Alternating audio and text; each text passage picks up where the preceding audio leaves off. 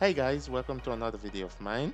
Today's technical drawing topic is axonometric projection. I'm going to explain to you what an axonometric projection is and we're going to go through a couple multiple choice questions, okay? So grab your snacks, grab your drinks, let's go.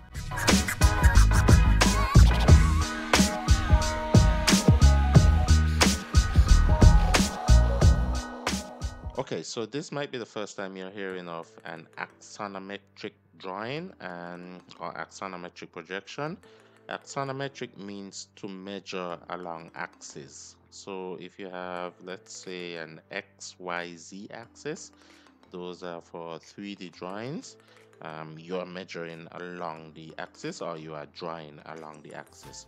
So here I have um, the different graphical projections and I'm going to pull up my laser pointer so you can follow along with me.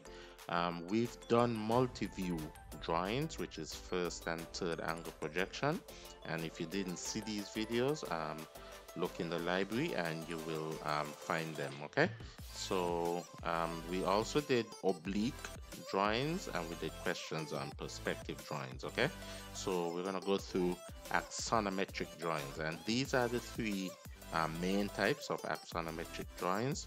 You have the isometric drawing, you have dimetric, and you also have um, trimetric drawing, okay? And uh, if you don't know the difference between them, um, the isometric drawing is where all the angles between each axis or axes are equal, okay? Um, you have two angles that are equal. So here you have A and C and the angle between them would be um, equal to each other and the uh, remaining angle would be a different angle to the first two okay and then you have trimetric where all the angles all three angles between the axes axes are different okay? So you have isometric you have dimetric and you have trimetric okay?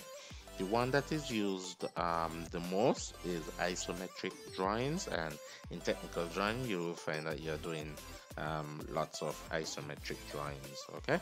So let's get to the questions now right. So in isometric drawing number one all distances are approximately this percentage of their true size. All distances are approximately this percentage and you have of their true size. You have a 120 percent b 80 percent c 50 percent and d 20 percent. Okay? So if you look at this drawing um, you can see that the lines that are going away from you these are usually at 30 plus 30 degrees for an isometric drawing okay? Um, those lines those lines are not full scale to a real object okay? So the lines are usually 80% of the original true measurement okay? So if you're drawing um a an isometric drawing and it is you're using 30 degrees because you don't have to use 30 degrees um, the drawings that are projected backwards will be 80% of the full scale okay? And in isometric pictorials um, the axes are usually 60 degrees apart okay? So if you have three axes x let's say this is x y and z for example the angle in between each axis would be um, 60 degrees okay apart.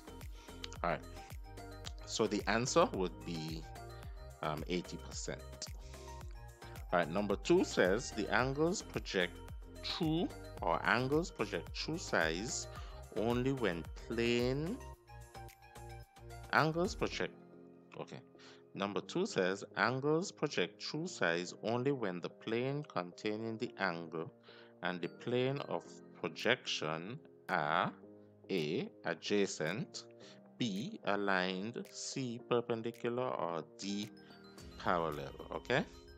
So the plane and the plane of projection or the plane containing the angle and the plane of projection should be um, either adjacent or aligned or perpendicular or parallel in order to project their true size or their true measurement okay? So which one would it have to be okay? And uh, angles project their true size the ang the answer would be when they are in parallel to the plane of projection okay? So if you're drawing a isometric drawing and the line is parallel with the whichever axis you are using if it's parallel with it um, you would be um, in the true size only okay? All right so the answer would be um, D parallel all right number three says in this type of projection each of the axes has different ratios of foreshortening. Each of the axes has different ratios of foreshortening and we just spoke about that. So if you look at this um, you will see all the angles are labeled different. So that means each angle is different on each side of the axis. So that would be um, trimetric okay? And that would be your answer.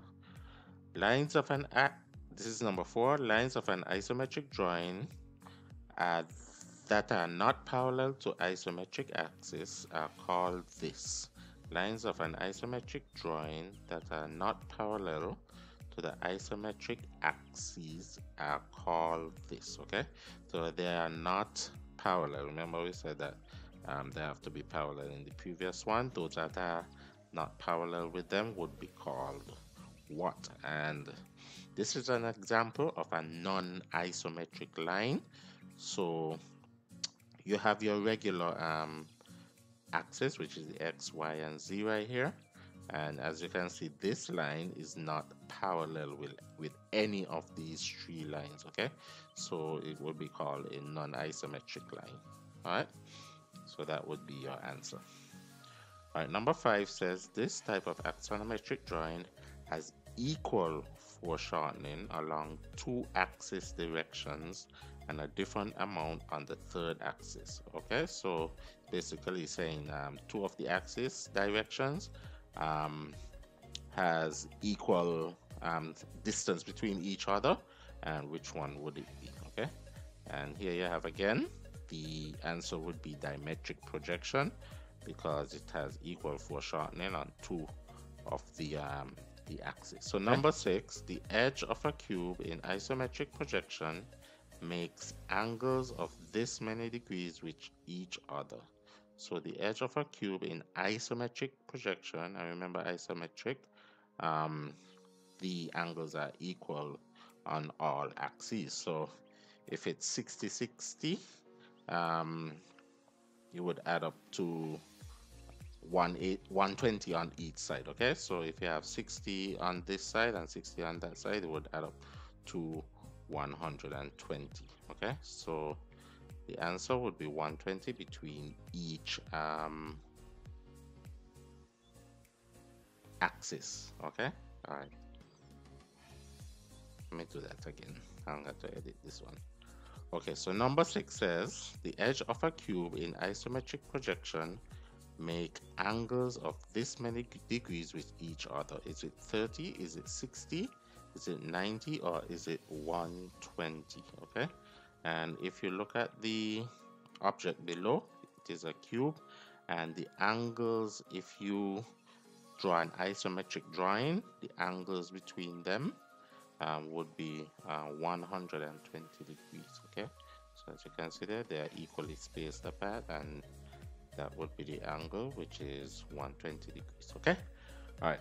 Thanks for watching. Um, if you understood the questions and if you understood what axonometric projection is um, hit the like button. If you have any questions leave it below in the comment section. Subscribe if you haven't already and i'll see you on the next one okay? All right bye